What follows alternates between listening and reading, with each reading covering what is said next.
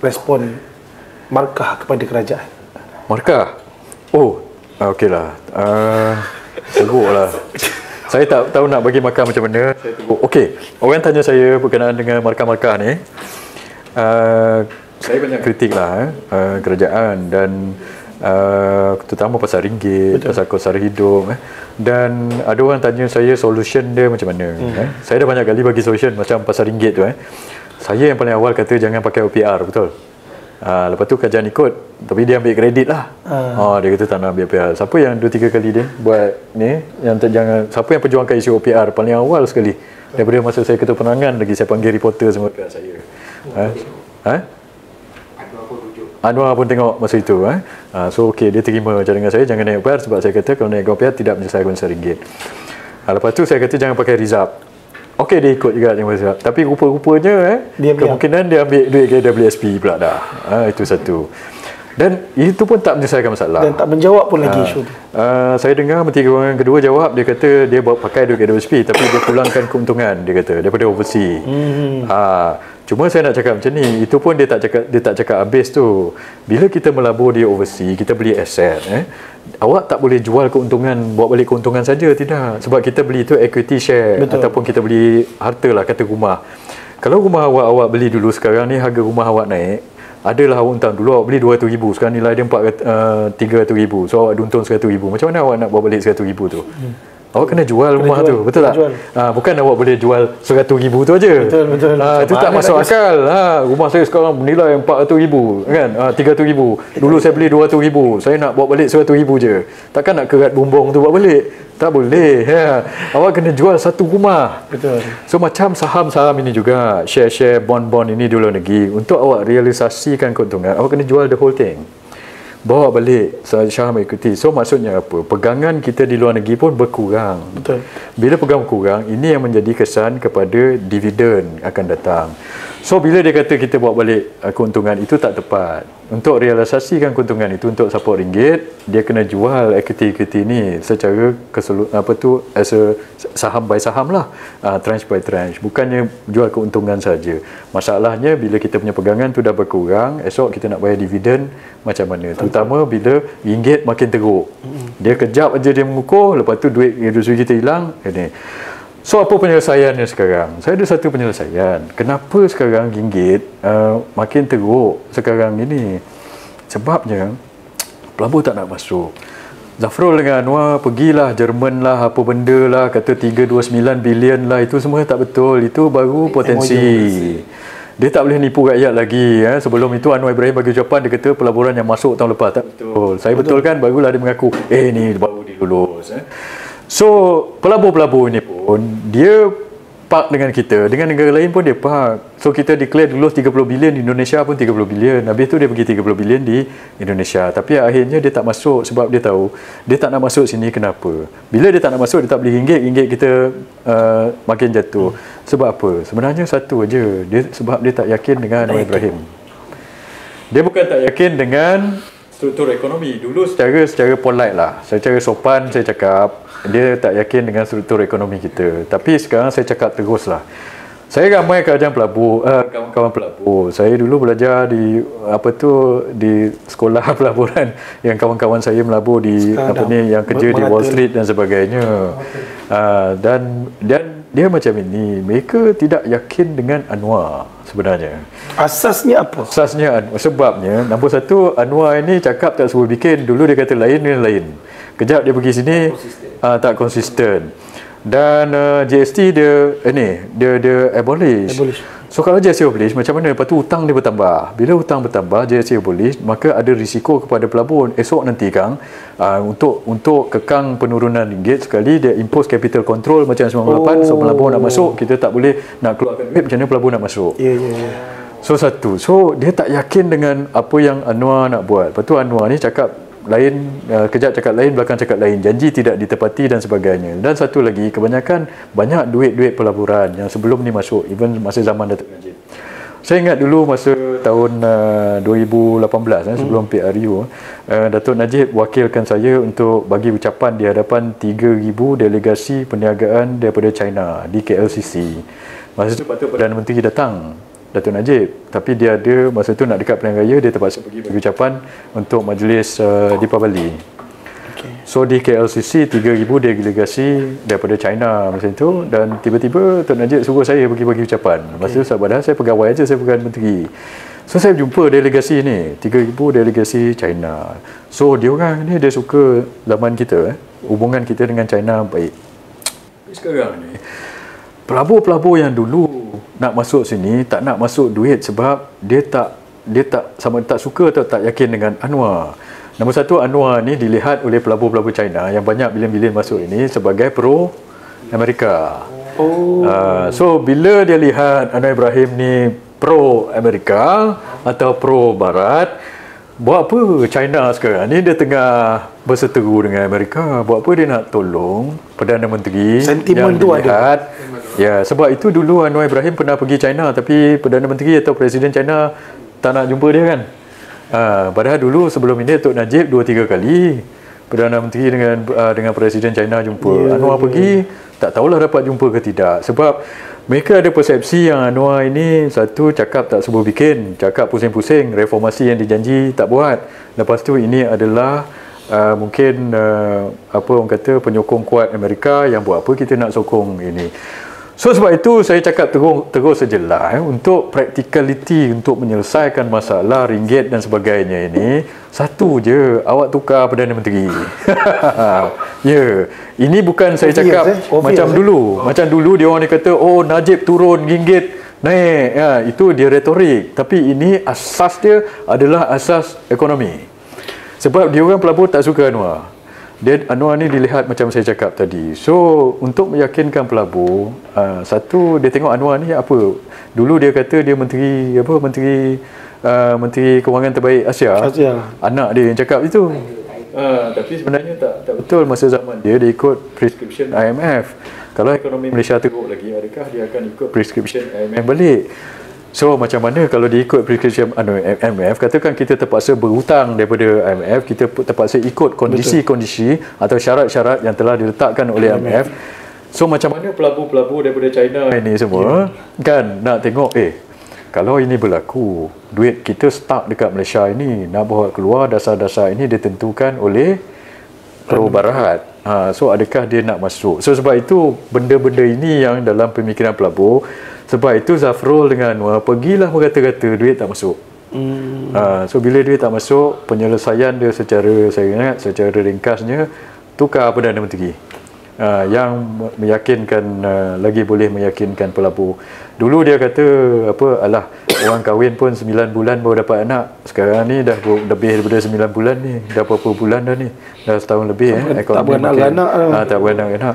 Dia kata ujung tahun ni ringgit 4.4 tapi sekarang ni trajectory dia begitu. Ha, sebab itu ini dan mereka dalam in denial lagi eh. saya tengok Menteri Undang-Undang apa Anwar cakap harga barang murah Menteri Undang-Undang pula cakap apa Azalina saya tengok dia berucap eh. ini saya tak faham dia orang ni eh. Mungkin bukan saya tak faham saya faham tapi mungkin dia orang sendiri yang tak faham di inilah dia pergi berucap depan penjawat awam ke apa dia kata kalau Anwar Ibrahim ni teruk sangat dia kata eh. Ha, takkanlah tengok macam ini orang Rohingya dengan Bangladesh masuk Malaysia tak nak balik dia kata. Ada ke macam itu contoh dia eh? So, yang sebut tu adalah menteri. Dia menteri Azalina Saya nak cakap pada Azhar Dah lah awak buat slide Supaya bersatu ni Ini ya Azalina Awak otak awak di mana Saya tak tahulah ya Azhar eh. So satu Nombor dua Bila dia ucap macam tu Dia compare kita dengan Bangla Bangladesh Dengan Rohingya. Dia kata Malaysia ni okey. Sebab apa? Bangladesh dengan Rohingya Masuk sini tak nak balik Eh kalau macam itu Baik awak compare. Eh, Kenapa tak compare Dengan negara lain eh? Dia ingat kita Oh kita ni bagus Sebab Rohingya datang sini tak boleh. Awak tahu ke Rohingya tu macam mana? Condition dia dekat sana. Bangladesh ekonomi macam mana? Takkan nak tunggu kita sama Macam Rohingya dengan Bangladesh? Kalau Rohingya dekat sini happy Nak tunggu kita jadi Rohingya Baru kita happy kat situ. Adakah itu maksud dia? Lepas tu dia kata Ekonomi bagus. Awak tengok ini ramai bila time cuti-cuti sekolah ramai je orang pergi overseas. Dia pun jangan- betul tak dia cakap macam tu. Kawan-kawan dia semua pergi overseas, makan mahal-mahal dan sebagainya. Awak pergi makan mana? So bila ha, bila dia cakap macam tu, maksudnya kawan-kawan dia di gelombang apa dia punya kepompong tu kepompong kaya-kaya. Dia tak dia nampak tak orang nampak orang bawah ni. Di mana kalau awak betul pergi bergaul dengan orang-orang bawah, orang-orang kampung orang-orang bawah yang orang-orang yang cari beras purple tu tak jumpa dia tak pergi overseas ha, yang orang kampung pergi cari beras purple tu yang Zahid kata kes terpencil terpencil pencil tu ha, dia tak pergi overseas Sampai hari ni saya masih tak jumpa. ha, so sebab itu so sebab itu Bersempatan tak ada. Pemikiran menteri-menteri ini di bawah kepompong dia. Dia ada gap antara apa yang rakyat rasa dengan apa yang dia syok sendiri cakap you know uh, Zalina cakap itu orang Rohingya tak nak balik Bangladesh tak boleh oleh itu negara Malaysia ni okey kan? Oh ekonomi okey sebab apa ramai orang pergi overseas? Anwar Ibrahim cakap oh harga barang lagi murah daripada dulu. Mungkin dia ambil harga ayam masa time lockdown ke apa saya tak tahu. Uh, itu pasal saya kata mereka ni dalam penafian atau dalam uh, propaganda retorik yang dia ingat orang percaya Kronik tapi tu. dia sendiri yang percaya? Dia seorang aja yang per, yang percaya. Ha, ini yang saya kata tu. Itu yang menjadi ini. So satu lagi saya nak tambah dua perkara eh, sebelum kita tamat lah. So, saya nak ini. Ada satu isu pasal ini saya nak bawa jugalah di kesempatan ini eh. Uh, isu pasal uh, apa Datuk Najib eh. Okey, baik. Uh, Ah, Ah, Datuk Najib.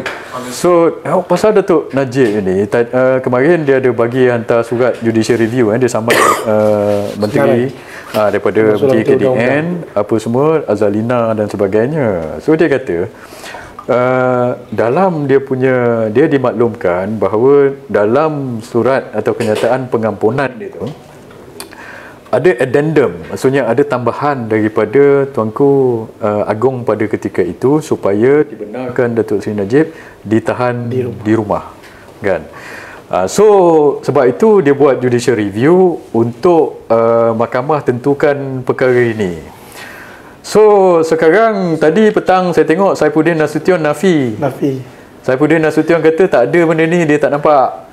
Ah, Saifuddin Nasution cakap macam itu eh. So sekarang saya nak tanya siapa yang menipu eh? Ah, takkan dia kata Datuk Najib menipu sebab ada orang bagi tahu dia. So di kesempatan ini saya nak cakap, saya nak bagi tahu eh, saya telah dimaklumkan yang bagi tahu Datuk Najib berkenaan dengan addendum, addendum ini adalah seorang orang UMNO juga iaitu orang UMNO yang rapat dengan Datuk Zahid Amidi, Presiden UMNO. So, saya sekarang saya nak tanya Zahid Amidi. Adakah awak tahu ke tidak benda ini? Sebab yang saya dimaklumkan yang menyampai pada Datuk Najib itu adalah orang awak. so, Datuk Zahid, awak kena jawab. Ada ke tidak addendum itu? Dan kalau perkara ini dijanjikan kepada Datuk Najib, benda addendum ini ada, ah, dia kena jawab atau tak ada. So, dia ada dua senario saja dekat sini. Satu, benda itu ada, tapi kerajaan sorok. Maksudnya, uh, sama ada Saifuddin Nasution ke, Zahid Amidi ke, Azalina ke, sebab itu Saifuddin Nasution dengan nama nama Azalina ada dalam uh, saman itu. Hmm. Kan? Uh, so, Datuk Najib dimaklumkan benda itu ada, tapi addendum itu tiba-tiba hilang. Eh? So, kalau katakan ni orang ni yang sorok, maksudnya jahat betul lah dia ni. Agung dah bagi addendum, lepas itu dia pergi soroknya. Sebab itu saya nak nak Azalina dengan uh, Zahid Midi jawab. Eh? Ha, sebab saya dimaklum orang yang bagi tahu Datuk Najib itu adalah orang rapat Zahid Hamidi. So dia kena saya tak boleh cakap nama lah. Ha, dia kena tanya benda ini. Ha, dia dia kena tanya. Kebarangkalian atau senario kedua macam ini. Surat tu tak ada. Tapi di, di cerita ada. Tapi somebody daripada mungkin daripada Presiden UMNO Zaid Amidi sendiri ke apa pada ketika Datuk Najib tak dapat pengampunan itu dia nak katakan uh, legakan Datuk Najib. Dia kata tak apalah kan? Ada sebenarnya addendum ini untuk bagi awak tahanan di rumah supaya time tu dia dapat ambil masa sikit untuk mereda keadaan. Sebab pada ketika itu orang semua tengah membuat-buat tengah marah pada ketika itu. Hmm. ha, batal mesyuarat dan sebagainya. Dan Datuk Najib dia boleh bagi arahan daripada penjara supaya orang-orang memberontak barangkali so barangkali mereka-mereka ini takut. Dia pun nak redakan Datuk Najib. Dia janjikan perkara itu dan dia menipu. Ha, so kalau dia menipu kan? Ha, ini saya nak tanya ha? Zahid kena jawab, orang dia kena jawab. Betul. Awak cakap itu betul ke awak nipu? Ha, kalau awak tipu kan awak kena come clean dengan akaun UMNO dan pada Datuk Najib kenapa awak menipu Datuk Najib bagi dia harapan palsu Uf. satu kalau surat tu ada pula Azalina dengan Sabudin Nasution kena jawab dan Zaid Amidi Timbalan Perdana Menteri kena jawab apa jadi dengan surat itu awak suruh ke mana Kenapa awak tak nak keluarkan Tun Najib? Ha, sebab itu dua-dua senario ini adalah senario sensitif pada apa tu penyokong-penyokong Datuk Najib dan penyokong ini. Sebab itu masa Zahid Amidi bila tak dapat aja dia dah tahu lama uh, sebelum keputusan tu diwar-warkan uh, apa tu uh, pengenaan pengampunan tu tak dapat. Tiba-tiba pula hari yang orang tahu pula dia pergi orang saya dengar dia menangis dalam ofis. Uh, sebab tu saya cakap ini air mata menipu air mata buaya. Awak dah tahu lama takkanlah awak tak tahu kan uh, uh, takkanlah awak tak tahu uh, uh, saya rasa mustahil lah dia tak tahu. Sebab benda tu dah 4 hari eh, sebelum dia hari Jumaat. Hari Senin dia, keputusan telah dibuat hari Jumaat. Hari Jumaat pula dia nangis eh, kata kan. Ha, lepas itu ha, mungkin mengkali dia nak gendakan keadaan dia pergi buat macam tu. Sebab itu saya kata ini tak inilah eh. saya Datuk Najib ni saya ingat eh, dia hubungan dengan PAS eh. uh, orang PAS tak ada masalah dengan Datuk Najib betul sebenarnya eh. In fact masa masa pengampunan itu dia ni saya tak nampak satu komen pun orang PAS cakap tak setuju dengan pengampunan. Tak ada, saya tak dengar orang PAS ke orang in fact orang bersatu pun tak cakap apa. Tun Mahathir pun yang Zahid Amidi selalu kecam ni Tun Mahathir pun tak komen berkenaan dengan pengampunan Tun Najib betul. Yang komen tak suka pengampunan Tun Najib ni siapa? DAP dengan PKR dengan amanah. Ha, yang dia orang tengah geng 47 ni tengah semangat 47 tengah cium mulut dengan Zahid Amidi. So itu yang saya tengok ini yang menjadi masalah. Dia orang yang tak nak keluarkan Tun Najib. Saya cerita eh, uh, pasal hubungan dengan PAS. Eh. Tadi Cik Nazir tanya pasal eh, macam mana UMNO dengan PAS. Eh, Akombi. Kenapa kita dapat? Ini bukan pertama kali tau saya bekerjasama dengan PAS tau. Ini kali ketiga tau sebenarnya. Hmm. Kali pertama, saya bekerjasama dengan PAS sebenarnya 10 tahun lepas. Sebelum muafakat nasional lagi. Ha, tahun 2014. Uh, yang suruh saya pergi reki hubungan dengan PAS ni, awak tahu siapa? Datuk Najib.